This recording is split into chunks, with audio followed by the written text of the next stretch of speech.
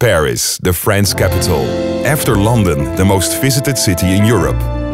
Known as the City of Light and the City of Love. The streets of Paris are overflow with culture, art, beauty and history. Paris, a city that captures the hearts of millions every year.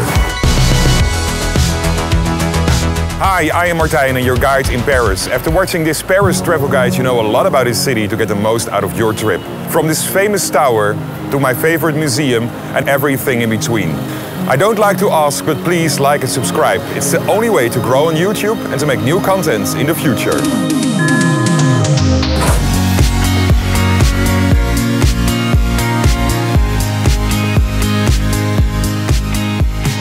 Paris consists of 20 districts and over here they call them arrondissements. Every arrondissement with its own board and own ambience. Once it started with the first arrondissement and around it they built the city in the shape of a snail. And I have to say it's one of the most beautiful cities in Europe. It is super easy to go around by foot, taxi, bike or metro in the city. For example, the metro network is great and you can buy your ticket at one of these machines for around 2 euros. And when you buy 10 tickets at the same time, you can save some money. In a moment you know more about my favorite museum in Paris, but first this big eye-catcher, the Eiffel Tower. And that's a big one, 324 meters high and a real landmark in the city. It was built for the World Fair in 1889. And believe it or not, it was planned as a temporary monument.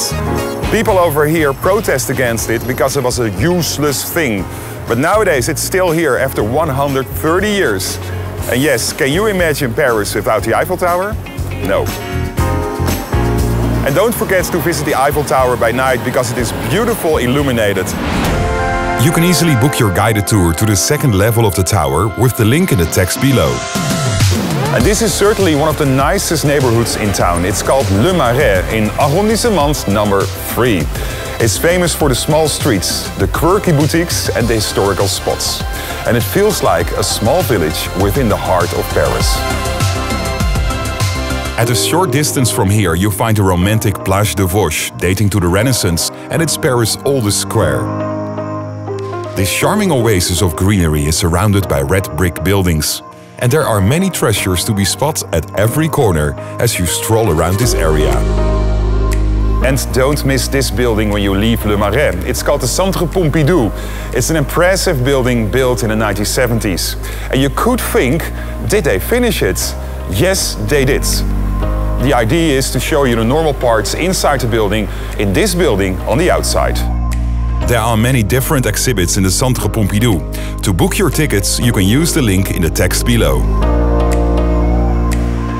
And this is the impressive Louvre Museum. Also the place where everybody wants to make a picture with the building between their fingers. Over here you can watch the Mona Lisa, but keep in mind that the painting is really, really small.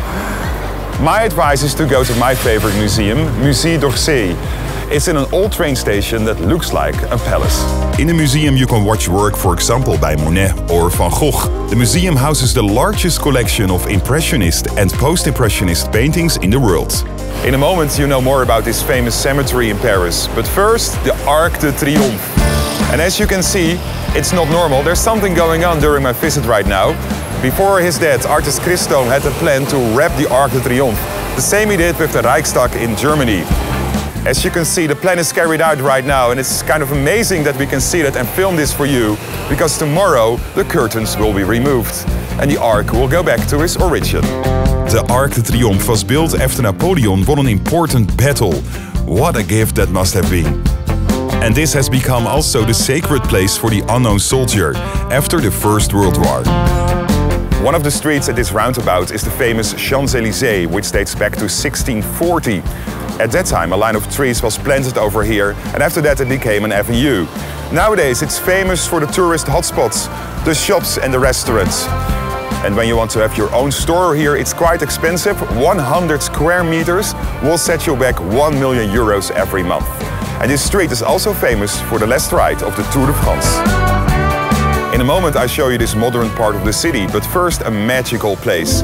And that's the biggest and famous cemetery of Paris, Père Lachaise in arrondissement number 20.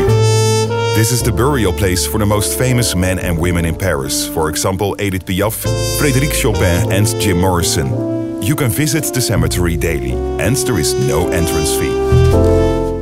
There is also a modern part in Paris, it's called La Défense. It's a business district mainly surrounded by towers, headquarters and offices.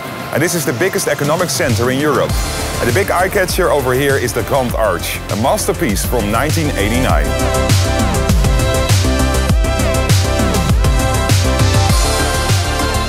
What is the best time to visit Paris? In my opinion, the months May, June and September. The weather is quite good in that period and it's supposed to be not very hot. Paris is full with churches and cathedrals, so let me show you three of them. And the first one is the Sainte-Chapelle. This church gives you an amazing experience inside because there are 1100 stained glass windows from the 13th century.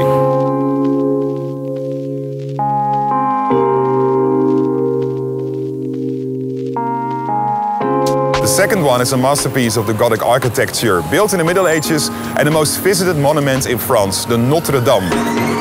It was built between the 13th and 15th century, destroyed during the French Revolution and rebuilt in the 19th century.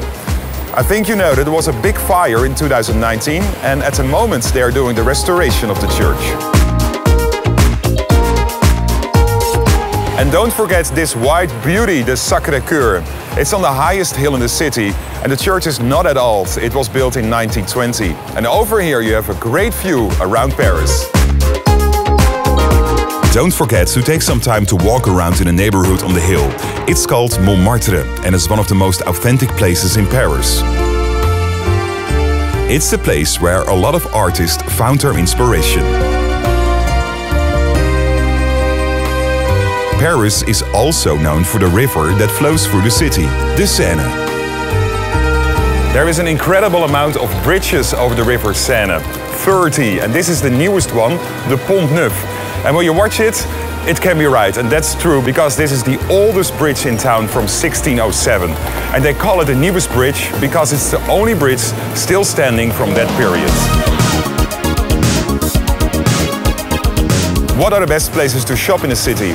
My advice is to go to the boutique shops in Le Marais or the opera neighborhoods with the big shops like Lafayette and Printemps. And on the roof of Printemps you also have a good restaurant with a great view around the city. And if you want to spend more money, the most expensive shops are in the first arrondissement.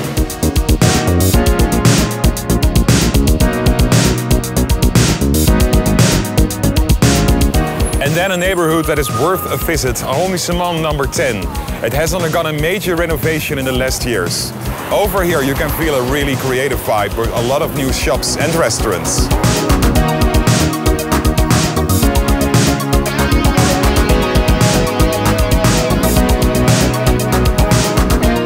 Give a thumbs up, thank you so much when you like this video. And if you don't want to miss any other episodes, just subscribe to my YouTube channel. It's totally free and it enriches your view on the whole world. Tot ziens, ciao, hasta luego.